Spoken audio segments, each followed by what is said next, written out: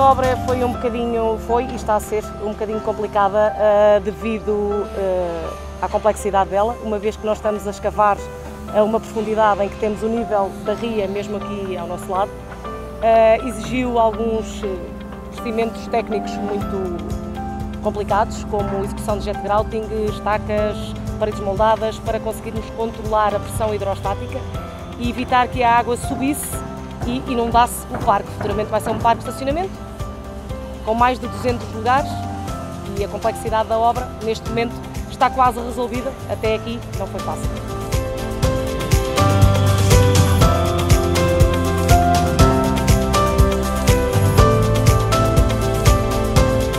O tempo também não ajudou, uh, tivemos períodos de muita chuva, uh, durante a altura em que estivemos a fazer o jet grouting. O processo de jet grouting e posteriormente a escavação foi feito desde agosto até dezembro, uh, o que não ajudou porque estávamos constantemente a trabalhar com água, a tentar controlar o nível freático e a água da chuva. A nível de material da alcina estamos satisfeitos, os tempos de entrega foram excelentes, a resposta da vossa parte, tanto no apoio técnico como no próprio material em si, diria perfeito.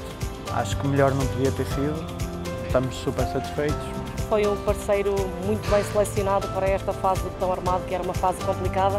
Tínhamos pouco tempo e o material vinha em excelentes condições, prazos de entrega 100% cumpridos, o apoio técnico, tal como o Bruno disse, muito bem acompanhados. Portanto, estamos super satisfeitos, seguramente que iremos continuar a trabalhar com a Alcino.